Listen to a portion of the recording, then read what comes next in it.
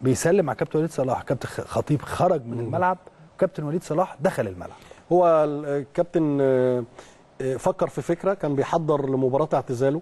ففكر في فكرة إن هو يعني يدور في قطاع الناشئين آه، على لعيب يعني يكون موهوب. الفكرة كلها إن هو يقول لجماهير النادي الأهلي إن يعني ما تقلقوش على النادي الأهلي. النادي الأهلي فيه مواهب كتير و يعني مش فكرة إن إن طبعا كابتن الخطيب ما, ما فيش حد شبهه. ودايما يعني ما فيش حد شبه حد. كابتن الخطيب ما شاء الله طويل وأنا قصير كابتن الخطيب بيلعب راس حربة وأنا بلعب في نص الملعب بس الكابتن الخطيب اللقطة دي آه، آه، كنت- نايم أنا ساعتها كان الكابتن إبراهيم عبد الصمد بقى ربنا يسامحه. بس إيه الشنب ده؟ الشنب يا خبر أبيض على الشنب. ده ده ده ده الكابتن علاء ميهوب آه. بيلبس رقم 10 لأن آه. أنا كنت هنزل بدل الكابتن الخطيب وأرجع قطاع قطاع الناشئين. يوميها ده ده ده الكابتن آه، علاء.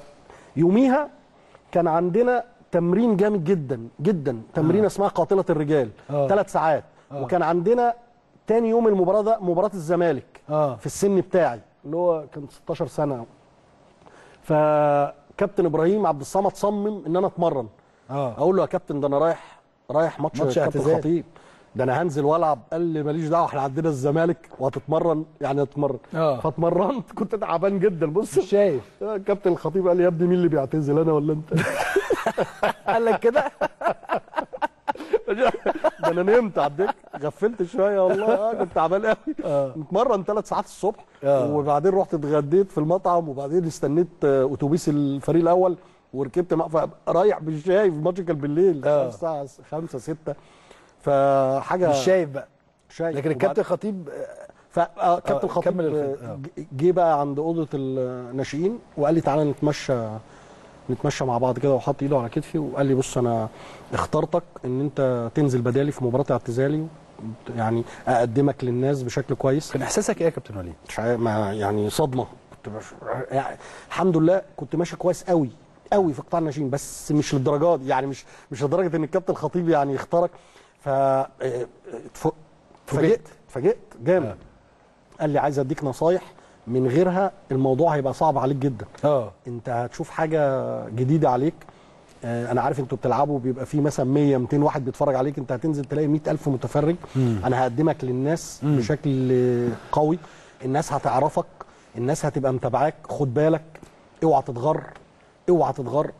حبب زمايلك فيك. خلي زمايلك يحبوك. خلي المنافسين يحبوك. آه، اسمع كلام من المدربين بتوعك. آه، قال لي قال لي آه، أنا في ناس لعيبة كوره جم كانوا أحسن مني منه. بس بطلوا عشان اتغروا. جه أحسن مني كتير. آه. لكن ما بيقعدش. يعني ممكن يقعد سنة ولا اتنين ويبطل. ف أنا هقدمك للناس بشكل كويس وخد بالك بقى و... ويعني عايز عايزك تبقى متوازن نفسيا وكده يعني نقطة مضيئة في, في, في تاريخ كابتن آه. روحت روحت بابا الله يرحمه ما كانش ليه في الكورة خالص آه ولا ما يعني ما يعرف ما يعرفش يعني في الكورة. ما يعرفش إن الكورة مدورة حتى آه. مالوش في الكورة خالص وأنا الولد الوحيد آه. ف- بس بقى آه كان بيفرح قوي لما بقى رجعت له الأول البيت وقلت له أنا رحت اختبارات النادي الأهلي وقال لي أنا رحت إزاي. قلت له بعدين آه والله حصل بقى. وبقيت لعيب في الأهلي.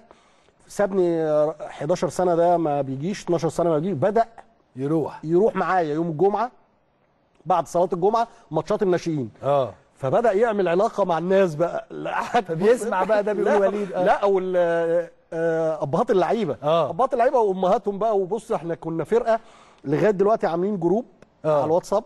كلنا بن بنتجمع. أنا لسه بس عليا عزومة لازم أعزمهم. آه. كل كل فريق آه، الناشئين بتاعنا اللي هو وإحنا عندنا 10 سنين. آه. كل